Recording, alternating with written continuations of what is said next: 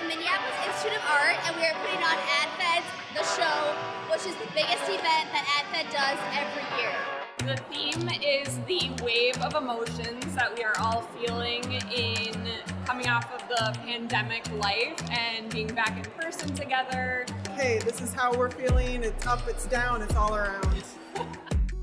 We had a completely blank white canvas um, and faux lighting came in and completely transformed the space. We had this amazing concept by Yamamoto that was this sort of like, we're happy and excited to be getting back together, but we're also a little anxious. Do we know how to network? Do we know how to talk to people?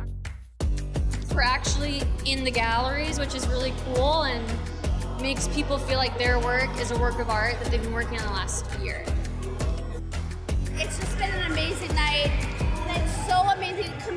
Pandemic and so many people showing up to celebrate the work in advertising. Let me introduce you to our Silver Medal Award recipient, Madeline Besh. When I started at CM, I was the only woman in the room. Glad to say, at the time of my retirement, 50% of our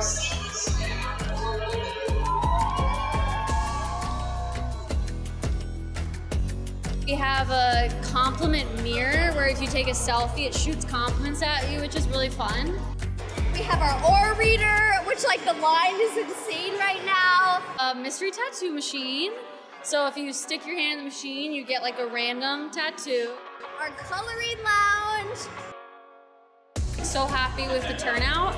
We've been grinding away and it feels really good to celebrate the awesome agencies in Minnesota. And there is a competitiveness, but it's much more of a good job. That's really cool. Look at that cool thing that you did. You need encouragement, so to look around and get that support from your peers is just really fun.